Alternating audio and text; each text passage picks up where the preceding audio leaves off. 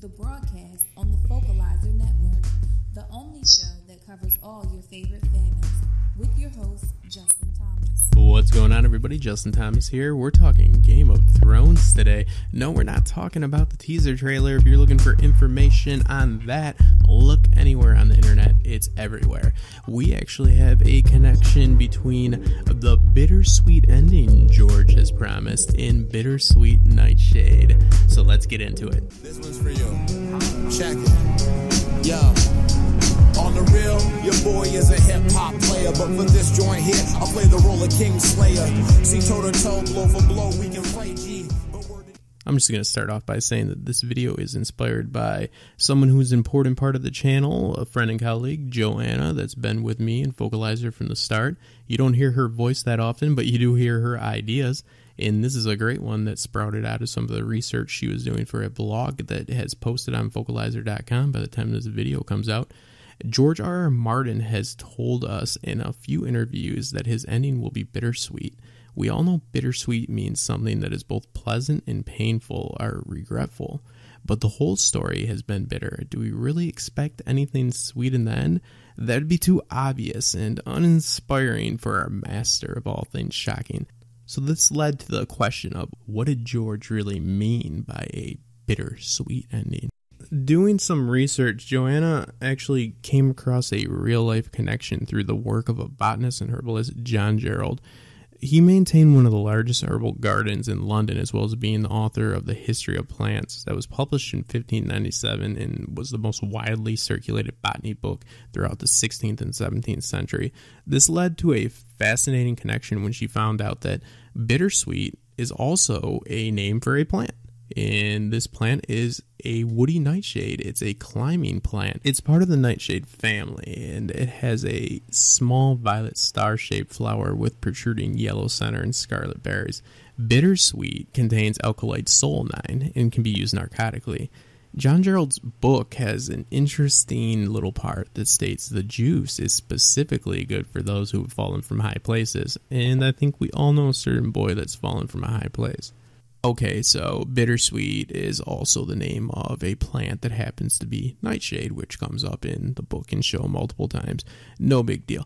And it might not be. But at the same time, I think it's far too fascinating to ignore this. That we've all heard the theory that we as viewers are witnessing the coma dreams of Bran, but add in this real life medical connection that furthers the evidence of this theory and the tie to George's bittersweet ending, it's far too fascinating to ignore Nightshade. It comes up too much in the show and book, like I said, and we're going to dive a little bit deeper into this connection to its real use in holistic medicine. When you think about it, it's very possible that after Bran's fall, Maester Luwin probably gave Bran bittersweet Nightshade, and Bran is suffering from the side effects of a narcotic. WebMD lists bittersweet nightshade side effects as including delirium. And delirium is a serious disturbance in mental abilities that results in confused thinking and reduced awareness of your environment. So it is possible that he is experiencing the medicinal side effects of a homemade narcotic. This is a concoction capable of bringing to life old man's horror stories that he loved to listen to. So George definitely made sure to include this bittersweet nightshade in the recovery process of Bran. In the pictures that we're putting up on the screen right now, you'll see you'll see Catelyn and Maester Luwin placing nightshade. You'll see actually uh, Catelyn bundling some nightshade and placing it around his bed and Maester uh, Luwin looking over Bran. Now, Nightshade not only has a few medicinal uses or a place in holistic medicine at least it plays a big role in a lot of spiritual and magical practices. Got a pretty large presence in magical folklore. Bittersweet nightshade is traditionally used for protection from sorcery and the evil eye as well as cleansing and healing. It's considered a typical fairy herb. Invokes female deities of a darker kind who have links to the underworld and the souls of the dead. All this links into Bran in one way or another with his storyline, whether you believe he is conscious and in a tree traveling throughout time, or if you think that he is in a fever dream.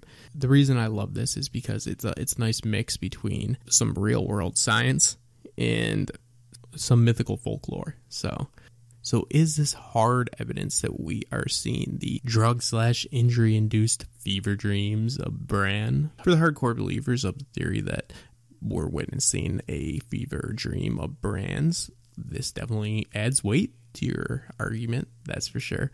Uh, as far as my opinion, I think that the bittersweet connection can go way further than that. And I think that George definitely chooses his words very carefully for being beneficial for those falling from high places. That made me think of it in a more metaphorical way. And made me think of falling from high places in society and more specifically power, especially queens. Cersei is no stranger to Nightshade, that's for sure. There's plenty of it in King's Landing. We've seen it pop up. Uh, Tyrion was accused of having it. And maybe in the end of all this, in this bittersweet ending, we will have some bittersweet Nightshade and somebody will fall from a high place of power. I think that it's an excellent connection and a good find. And you should definitely go over to focalizer.com and read the blog. And we're going to be doing more on this as we do some more research into it. But all in all, the dual meaning of bittersweet definitely adds a cool aspect to all these theories, not just the Bran being in a coma or fever dream theory.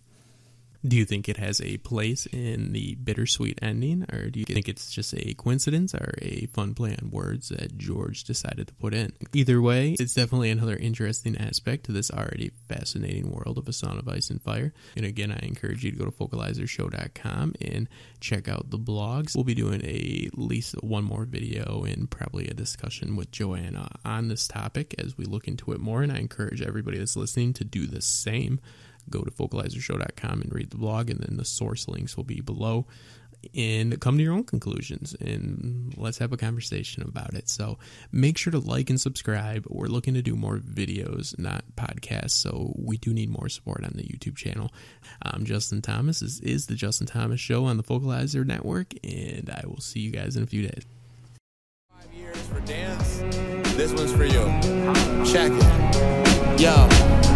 On the real, your boy is a hip hop player, but for this joint here, I play the role of King Slayer.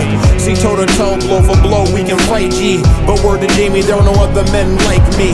This industry is in a roughed up state. Cats front so tough, you call the bluff they fake.